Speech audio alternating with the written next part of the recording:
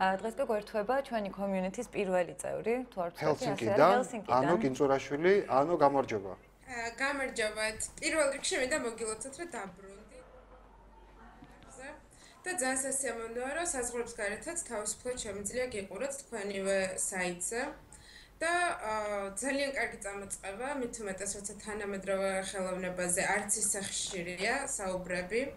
და პირველ რიგში ისე თქვა წინ და ძალიან საინტერესო იყო ქალბატონი რინას და ქალბატონი ხათუნას შეხედულებები რა თქვა უნდა და პირველ რასაც ვიტყოდი ქანდაკებასთან მიმართებაში არის აა არის ესეთი არტისტი, ერთ-ერთი პირველი, ვინც დაიწყო როგორც ესეთი თანამედროვე ქანდაკება ტონი კრეგი. და ანუ მასალაზე, მასალაზე, მასალაზე საუბრობდით თქვენ და ზუსტად როცა იკითხებიან ძალიან ხშირია, როცა არტისტს ეკითხებიან რა არის მისი საყვარელი მასალა.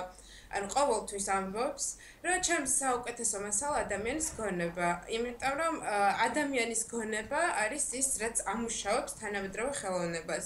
ანუ აღარ არის ის დრო, როცა ესთეტიკა არის მხოლოდ. ანუ პირველ რიგში როცა მიდიხარ ხელოვნების ნიმუშთან და გიჩდება კითხვა, რატო, ან რისთვის, რატო ქვია სახელი, რის თქმა უნდა და არტის და როცა იწყებ ამაზე ფიქრს, ანუ ჩათვალეთ, რომ ჩემი აზრით, პირად ჩემ დამოკიდებულებაა, რომ მაშინ შეასრულა ხელოვნების ნიმუშმა თავის დანიშნულება.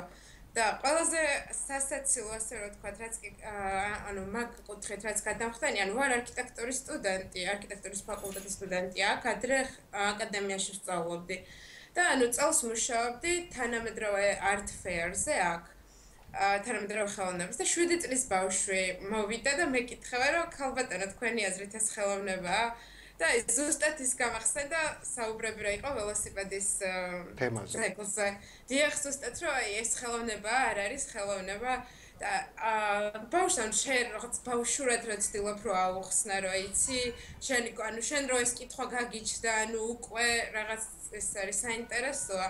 ანუ მის მინდა მის მინდა გაიცინა და არ გეთანხმებითა და გაი არა, მაგრამ იცით რა არის რომ 7 წლის ბავშვს რო უჩდება ეს კითხვა და პასუხს სხვასთან ეძებს, ანუ პროს ეკითხება.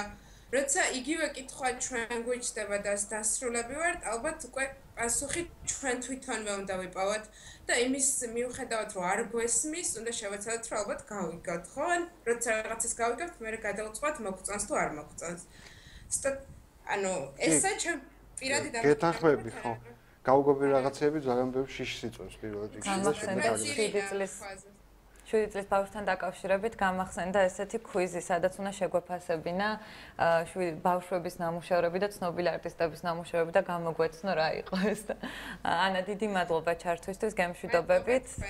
აი მედია კიდევ გაიქნებით ჩვენი გადაცემის თანამონაწილე კიდევ ბევრჯერ.